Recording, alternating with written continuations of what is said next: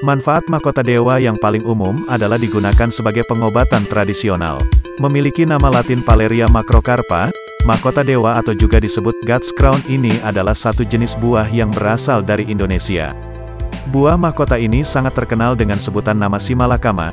Umumnya buah ini memiliki bentuk bulat dan berwarna merah merona apabila sudah dalam kondisi matang serta berwarna hijau jika masih mentah. Berbeda dengan buah apel, si malakama ini tidak bisa langsung dikonsumsi secara asal-asalan. Dibutuhkan beberapa cara pengolahan agar membuat manfaatnya bagi kesehatan tubuh menjadi maksimal sehingga mampu untuk mengatasi berbagai penyakit. Dilansir dari Dr. Health Benefits, buah mahkota dewa atau si malakama ini mengandung saponin, polifenol, alkaloid serta flavonoid, Selain itu ia juga memiliki sifat antibakteri dan juga antivirus yang membuat tubuh Anda akan mencegah berbagai macam jenis penyakit. Perlu diketahui, terdapat senyawa antioksidan di dalam buah simalakam atau mahkota dewa ini yang dapat membuat tubuh terbebas dari paparan radikal bebas penyebab penyakit kronis seperti kanker. Dihimpun dari berbagai sumber, berikut manfaat mahkota dewa bagi tubuh beserta cara mengolahnya. Kandungan senyawa mahkota dewa Mahkota dewa atau buah simalakama memiliki kandungan senyawa tanin, alkanoid, fenol, lignan, sterol, saponin, juga minyak atsiri di dalamnya. Dengan begitu buah mahkota dewa ini memiliki banyak manfaat untuk kesehatan tubuh Anda serta dapat membantu Anda mengobati penyakit tertentu. Umumnya, manfaat buah mahkota dewa ini dapat Anda dapatkan dengan cara meminum air rebusannya, buah kering hingga ekstrak dalam kapsul. Istimewanya, buah yang juga terkenal dengan sebutan simalakama ini mampu menjadi bahan obat komersial seperti obat sakit kepala dan batuk. Manfaat mahkota dewa Berikut adalah beberapa manfaat secara menyeluruh yang bisa Anda dapatkan dengan mengonsumsi mahkota dewa atau buah simalakama bagi kesehatan tubuh, mengobati flu dan batuk.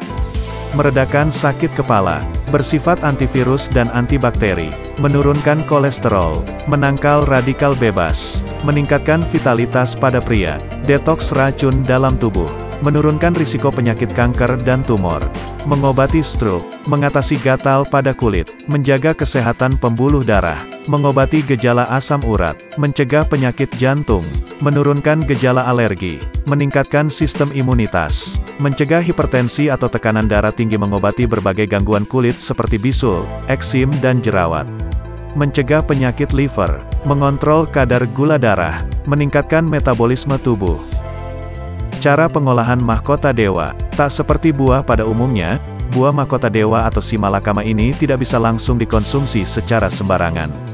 Anda harus melakukan beberapa cara pengolahan antara lain membuatnya menjadi teh hingga masker seperti berikut, teh rebusan batang mahkota dewa.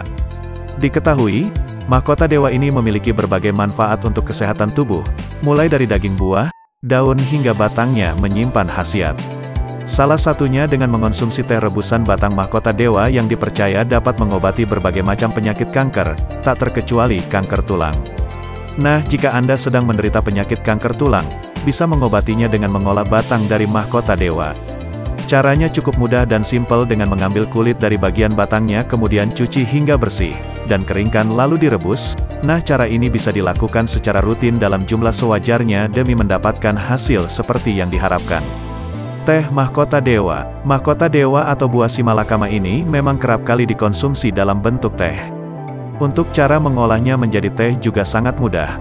Pertama Anda cukup mengiris buahnya tipis-tipis, kemudian membuang bijinya terlebih dahulu karena beracun dan dapat menyebabkan mabuk, mulut bengkak, sariawan, kejang hingga pingsan. Nah setelah itu Anda harus mengeringkan buah mahkota dewa yang sudah diiris kemudian diletakkan dalam wadah atau toples dan jemur di tempat yang teduh. Apabila sudah mengering, Anda bisa memasukkan sebanyak tiga irisan buah mahkota dewa ke air panas dan diamkan sekitar 5 menit, air seduhan siap diminum. Perlu menjadi perhatian, jangan terlalu banyak mengonsumsi buah mahkota dewa, cukup dalam porsi sewajarnya saja karena jika dikonsumsi berlebihan, buah ini akan menimbulkan efek samping. Daun mahkota dewa diolah menjadi salep atau masker. Buah mahkota dewa diketahui mampu menutrisi kulit dari dalam, akan tetapi jika Anda merupakan seseorang yang mendambakan kulit cantik dan juga sehat bisa memakai bagian daun buah ini menjadi sebuah masker ataupun salep. Cara mengolahnya cukup mudah, dengan menghaluskan beberapa helai daun mahkota dewa memakai cara ditumbuk atau juga bisa di blender hingga teksturnya benar-benar halus. Nah setelah itu, balurkan racikan tersebut di kulit Anda. Perlu diketahui ramuan racikan ini terkenal dapat ampuh mengobati penyakit jamur dan eksim.